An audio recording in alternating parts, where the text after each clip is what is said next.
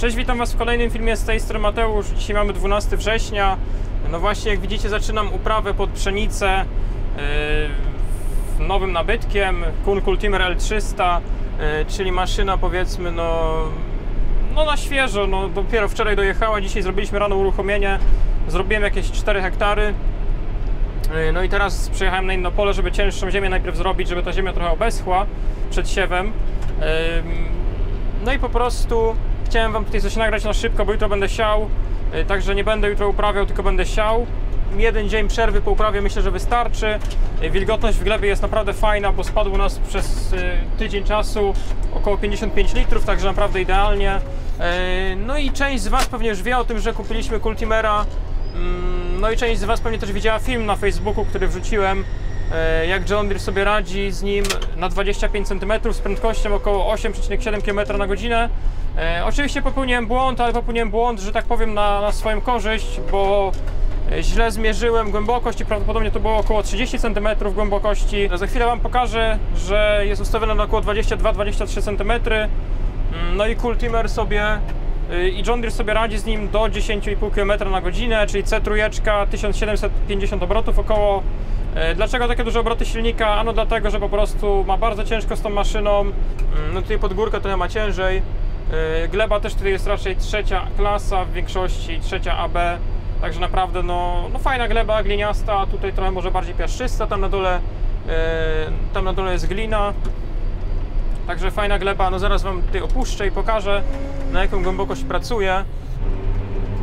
Do 11,5 dobija.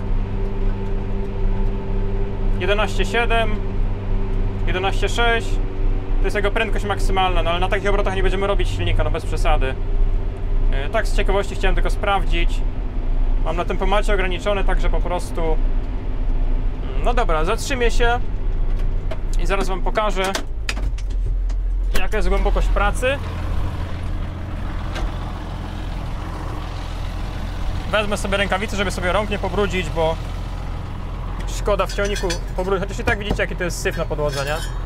Parę razy się weszło, wyszło z ciągnika i, i się syf zrobił.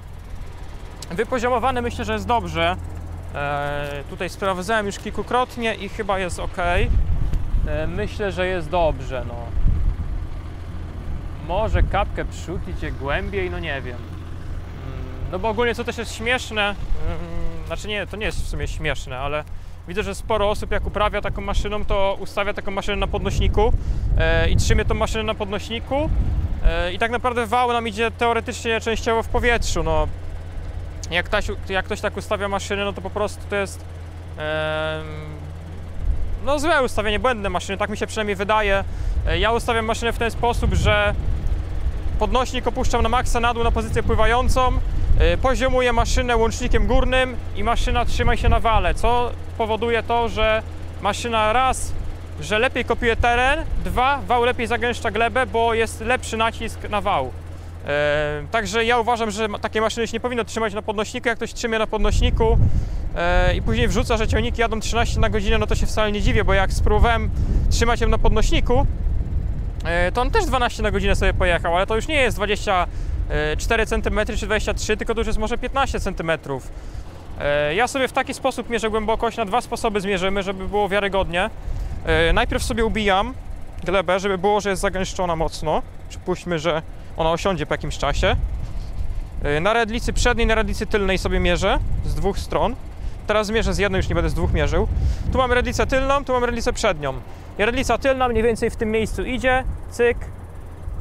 Wbijamy do oporu, miara, cyk.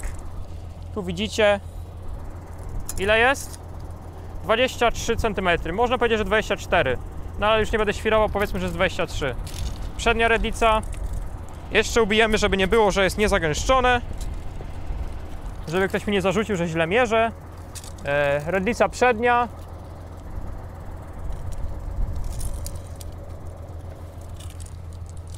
Cyk. 23-24 cm. No 24, dobra, no. 22. No to jest 20. Można przyjąć, że jest 22 cm głębokości. Jak ktoś nie wierzy, to zmierzymy w drugi sposób. Robimy coś takiego, to jest może mniej wiarygodne, moim zdaniem przynajmniej. E, robimy coś takiego, że tu sobie odgarniamy ziemię. no mniej więcej idzie tak dotąd, o, do tego momentu. Unosimy maszynę.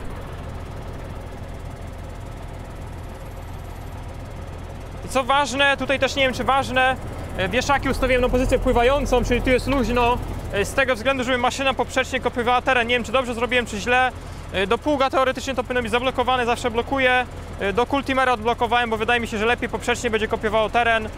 Tu ustawiłem na fasolkę. W sumie to praktycznie w ogóle nie pracuje, chyba że jakieś by były duże nierówności na polu. Można ustawić na sztywno, na fasolkę. Ja ustawiłem na fasolkę, pozycję podnośnik na maksa na dół i, i tak jadę. No myślę, że jest dobrze ustawiona maszyna. Dół, tak jak widzicie, 80. E, No zarąbiście masywne. 80 z węglika. Także robią robotę. Do którego momentu to było? Dotąd to było, do tej śruby. Także mierzymy. Tu mniej więcej odtąd, żeby było profesjonalnie. No nie chcę mówić, ale jest 24 cm. Nie wiem, czy widzicie, czy nie widzicie. Do tego momentu jest 24, także no... No wcale aż tak za płytko to on nie idzie, no. Także te 22 cm to na pewno można przyjąć, minimum. E, dobra, wsiadamy do ciągnika i lecimy dalej. Tu nic Wam więcej o maszynie na razie nie powiem, bo tak jak mówię, trochę mi się spieszy, chcę skończyć tą działkę dzisiaj. E, I myślę, że... Myślę, że jeszcze coś nagram. Prawdopodobnie będę robił po kukurydzy w tym roku, założę sobie skrzydełka e, i na skrzydełkach będę robił po kukurydzy sobie, po prostu chcę, no mam nową maszynę, chcę ją przetestować jak się da, na ile sposobów się da. Także po kukurydzy pójdzie raczej Kultimer. Czekajcie, łyknę sobie wody trochę, bo mi zaschło w gardle, bo gadam i gadam. Mam nadzieję, że z sensem chociaż gadam. Dobra, lecimy. Także jak widzicie, no po prostu John z nim śmiga. E, tak myślałem, że on 10 na godzinę powinien osiągnąć, no kurczę, 10 na godzinę przy 20 cm jakby nie dał rady, to jest trochę lipa, nie? E, brałem pod uwagę Horsza, brałem pod uwagę Amazonę, brałem pod uwagę Lemkena. E, cenowo brałem Horsza i Amazonę, ale oglądałem powiedzmy na żywo i tak dalej jeszcze Lemkena, Farmeta Triolenta, Wederstada Cultusa, e, no Kuna, I co jeszcze? I chyba to jest wszystko. I tak jak mówię, no z początku byłem mocno na Amaz- Amazonę napalony. Yy, Już praktycznie byłem zdecydowany na Amazonę, ale mm, Kuna tak szczerze mówiąc w ogóle nie brałem pod uwagę na samym początku. Yy, Ale później tak mówię, znajomi mają Kuna, sprawdza im się. Kolega mi zrobił usługę takim Kunem. Yy, Bardzo mi się spodobało. Efekt jego mieszania. Yy, Co też ważne, no to powiem po prostu w osobnym filmie, ale tutaj też może coś tam mogę powiedzieć chwilę, jak jadę w ciągniku. E, Tylko niektóre rzeczy jest ciężko wytłumaczyć, jeśli jestem w ciągniku, a maszyna jest na zewnątrz. Ale co ważne, Kultimer ma tak zaprojektowaną odkładnicę przy słupicy, że ona jest bardzo wyprostowana w górę. Podobnie ma Lemken zrobione i podobnie ma Horsch zrobione. E, Amazonę tą odkładnicę miał mocno wygiętą. Co mi się nie podobało w Amazonę, że ona była bardzo wygięta i słabo mieszała glebę moim zdaniem. E, Nie robiła takiej powiedzmy no... No zobaczcie jak on miesza. No może teraz to nie widać, bo on tą glebę, on tą glebę tak do góry jakby podrzuca trochę. No miesza, intensywnie miesza. Horsz robi właśnie podobną robotę. I tutaj Amazony robiło to bardzo mało intensywnie moim zdaniem. Takie, takie po prostu delikatne się robiły wzniesienia tej gleby, ale żeby jakoś tak intensywnie mieszał, to no nie podobało mi się to w Amazonce. Jest też parę punktów, które mi się nie podobały, które mi się bardziej w kunie podobały. Chociażby to, że słupica jest wykonana z hardoxu, stal hardox, czyli elastyczna stal, która jest, e, jak to mój kolega dzisiaj powiedział, bo ogólnie to pozdrawiam Cię Adam. E, Mój kolega pracuje akurat w kunie na serwisie, no i przyjechał dzisiaj uruchomić do mnie maszynę, także e, jak to on to ocenił, no wiedziałem, że hardox jest elastyczną stalą, czyli po prostu no, może się odchylać w jakimś stopniu w lewo, prawo, e, bez utraty właściwości e, bez po prostu wygięcia się. Jest to plastyczna stal, elastyczna stal, ale jest też trudno ścieralna, czyli też duży plus, bo po prostu słupica nie będzie się ścierała przez ileś tam kilkanaście lat, powiedzmy. Będzie dłużej maszyna pracowała. Mam na myśli słupicę, czyli to, co jest, e, jest dłuto, jest odkładnica i to jest przykręcone do słupicy. Mam na myśli, że słupicę, że słupica jest z hardoxu. E, Dół to jest z węglika, odkładnica jest prawdopodobnie zwykła, e, zwykłej jakiejś tam utwardzanej stali, pewnie, nie wiem, no jakaś tam jakościowa stal na pewno jest. No robotę fajną robi, talerze krańcowe wyregulowałem, fajnie to wygląda. E, Ten talerz mógłby być jeszcze trochę chyba podniesiony w górę, tamten w sumie też. E, Ale niech robi nawet delikatne rowki, to już tam bez większego znaczenia. E, Mogę w sumie jeszcze unieść je, ale tak jak mówię, nie ma to większego znaczenia. Powiem tak, maszyna mi się bardzo podoba. Pole wygląda jak po orce. Zresztą sami widzicie, że naprawdę fajnie wygląda. Mi się podoba. I tak jak mówiłem, ja jestem zwolennikiem uprawy mieszanej, bo ktoś na przykład powie, że jesteś fanem orki, e, to dlaczego w tym roku robisz bezrokowo pod pszenicę? My z reguły zawsze robiliśmy bezrokowo pod pszenicę, ale przeważnie to szło talerzówka. E, Tylko, że talerzówka ma ten minus, że ona uprawia pasowo e, i talerzówka w pewnym stopniu zasklepia glebę. Mm, No i talerzówką głębiej jak 10 cm nie pojedziemy, także to też jest za płytko na pszenicę moim zdaniem. Te 20 cm to jest takie optimum. E, Tu mam nawet więcej. Ale te 20 to powinno być. I co jeszcze chciałem powiedzieć, że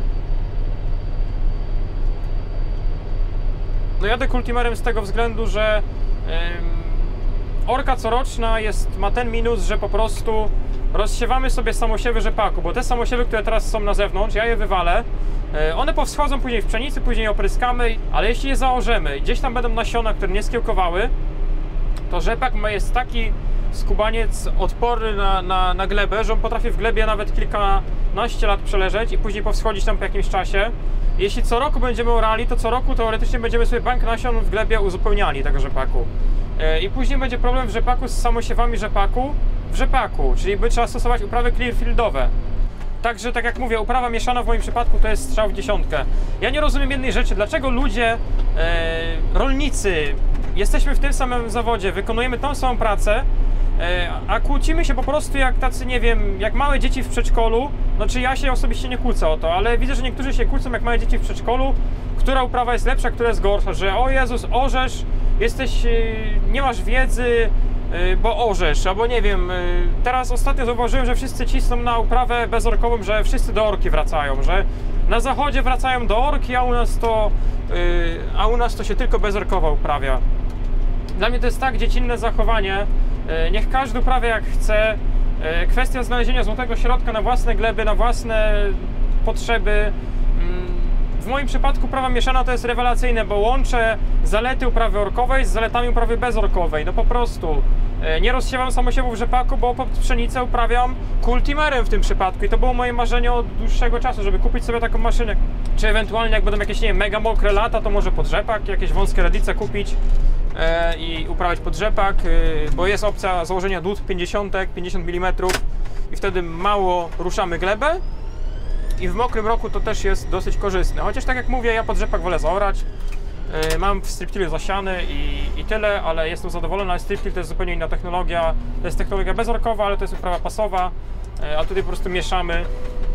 Ingerujemy w tę glebę tak samo mocno, jakbyśmy orali, tylko że po prostu nie przerzucamy gleby, tylko mieszamy. No tu na glinie to czuję, skubaniec. Ale daje radę, Johnny. Jak ktoś mówi, że nie daje rady, to się mylił. E, Trochę się rozgadałem chyba dzisiaj, nie wiem ile minut mam nagrane w sumie już, zaraz zobaczymy.